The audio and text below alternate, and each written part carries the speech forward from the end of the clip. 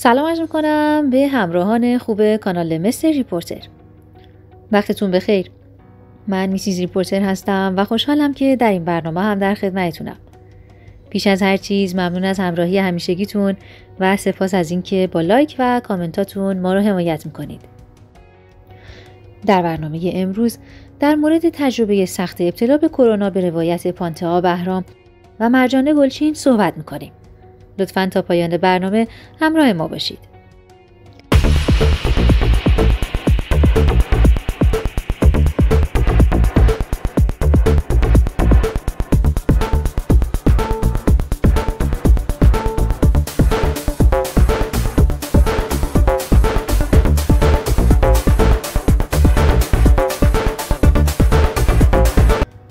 حجوم دلتا ویروس کرونا و اوجگیری مجدد کووید 19 در کشور به افزایش مبتلایان این بیماری انجامیده.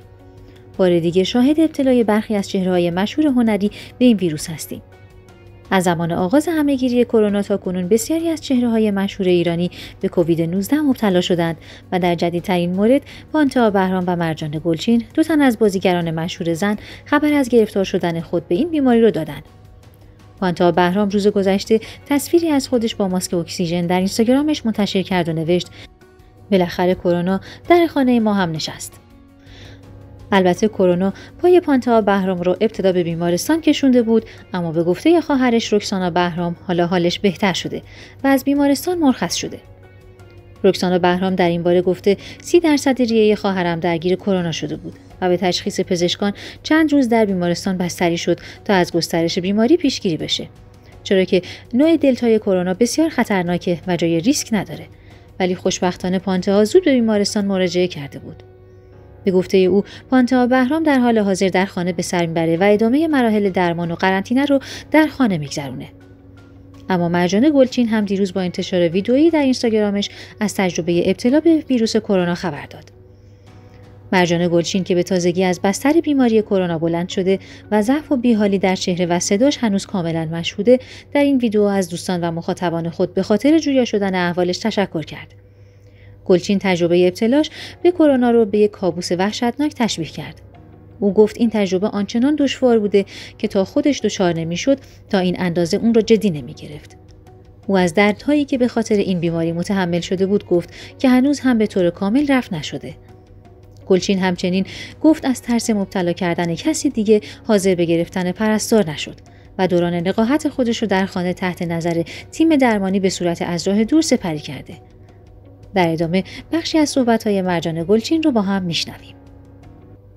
هم میهنای عزیزم بعد از طی کردن دوران سخت بیماری کرونا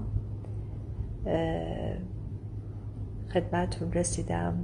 تشکر بکنم از همه همراهی ها دلجویی ها و احوال پرسی هاتون اگرچه اصلا دلم نمی‌خواست که کسی از بیماری آگاه بشه چون همیشه شما منو با روحی شاد دیدین ولی دوستان عزیزمون در هر صورت گوش به گوش رفت و خبردار شدن. سخت بود.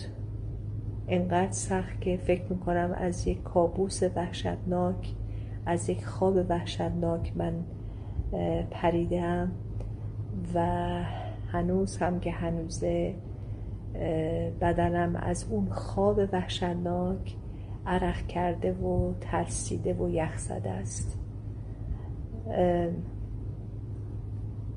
خیلی سخت گذشت.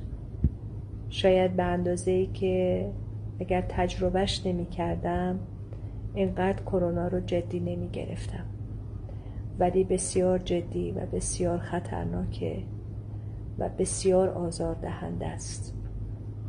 مشکل من در کرونا مربوط به بیشتر قسمت سرم بود.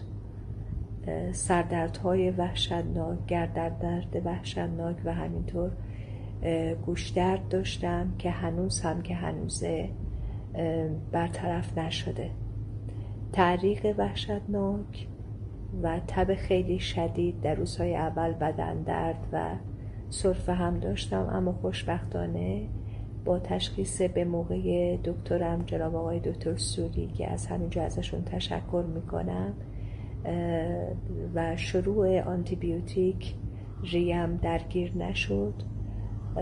ولی تا آخرین روزهای مداوا همچنان تعریق وحشتناک و تب رو داشتم و بیشتر هم شبها سراغم می اومد یک بیحالی عجیب غریب یک بی انرژی عجیب غریبی داره کرونا که میگم بارها شده که هممون مریض شدیم آنفلانزا شدیم ولی این نمونهش رو فکر می‌کنم هیچ کس تا به حال تجربه نکرده. امیدوارم که هیچ کس هم تجربه نکنه.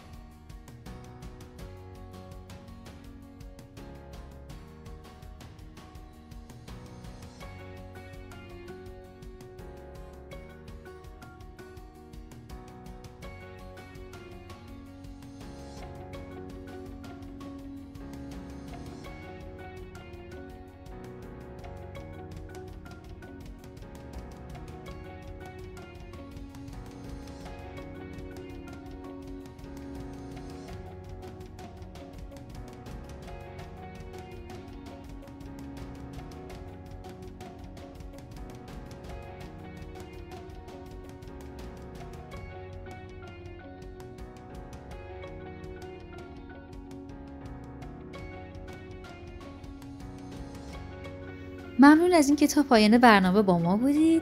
لطفا ما رو subscribe کنید و با لایک و کامنت هایی که می‌ذارید به ما انرژی بدید و ما رو همراهی کنید. شاد و پایدار باشید.